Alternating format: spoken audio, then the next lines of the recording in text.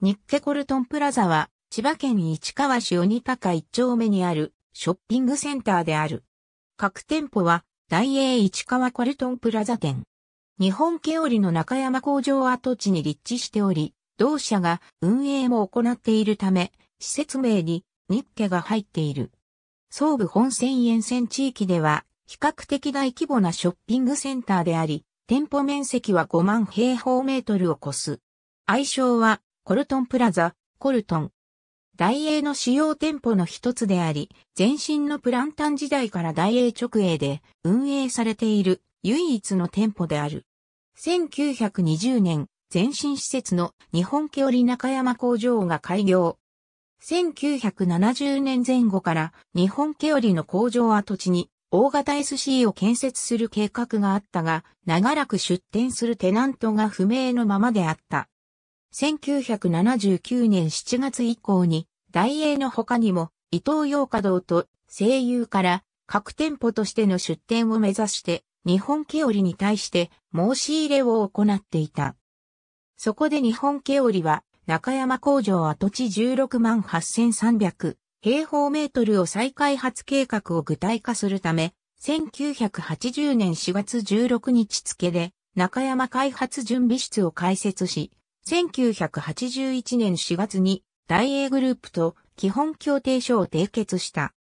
1982年に地元との交渉をスムーズにするために日本ケオリが入居予定のテナントが大英とプランタンであることを明かした。1983年1月に日本ケオリが千葉県知事や市川市長、市川商工会議所会頭、市川市商店連合会長宛に提出した大規模小売店舗出店計画書では、オプランタンジャポンと大英を各店舗として専門店街を加えた店舗面積72,700平方メートルで駐車場2000台と駐輪場2000台を併設し、年間売上高約344億円を目指す大規模なショッピングセンターの計画であった。この計画に対しては店舗規模が大きすぎるとして反発が強かったため、1984年6月に全体の店舗面積を約30%縮小して56,830平方メートルとする計画に修正。1985年11月には各店舗2店をカジュアルデパート1店を減らすなど計画は大幅に縮小される形となった。ところが当初の計画の地上5階、地下1階の店舗面積に地元商店会などが反発し、地上4階の建物に変更した上で規模を縮小する形で大英側が譲歩した。その後も商店会からの反対意見は根強かったものの、千葉県や市川市、市川商工会議所の中立ちもあり1986年に参上申請を行った。また、この当時の SC の歌唱は日記コミュニティセンターであった。関東でプランタンを出店するのは、銀座を除きこれが初めてであった。その後、入居するテナント数が131に決定。さらに過小であった日系コミュニティセンターから日系コルトンプラザに変更することが明らかとなっている。1988年11月25日、日系コルトンプラザ正式開業。開業当時の首都圏のショッピングセンターとしては大規模であったことから、開業当初は視察に訪れる人も多数あった。開業初年度の売上高は、オプランタンも専門店街もともに年間100億円を超えた。各店舗のプランタンは1996年に現在の大英に転換。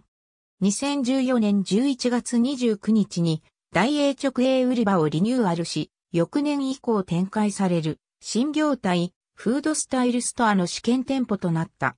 とても広いので大きく分けてセンターモール、ウエストモール、イーストモールの3ブロックに分かれる。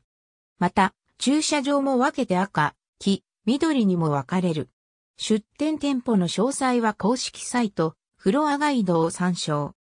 このほか、日本旅行、OMC トラベルと日旅サービスの両方が出店していたが、2021年5月にセンターモール店に統合したほか、スポーツ施設や ABC ハウジングもある。敷地南側には、織姫神社と手仕事の庭からなる日家鎮守の森がある。この場にはギャラリーラフトがあり、毎年10月の土日2日間には野外クラフト展、工房からの風が開かれている。工房からの風は2016年メセナワードのメセナ大賞を受賞。工芸と庭をめぐる人の輪作りがアクティビティ部門、地域、コミュニティ作り、社会貢献活動カテゴリーで2017年グッドデザイン賞を受賞。当店主催の盆踊り大会であるコルトン盆踊りが毎年8月第3土日曜日に開催されている。ちなみに、同イベントで使用されるオリジナル曲としてエイヤザコルトンがあり、松村和子のボーカル曲となっている。元八幡駅からのシャトルバス、市川市、コミュニティバス。ありがとうございます。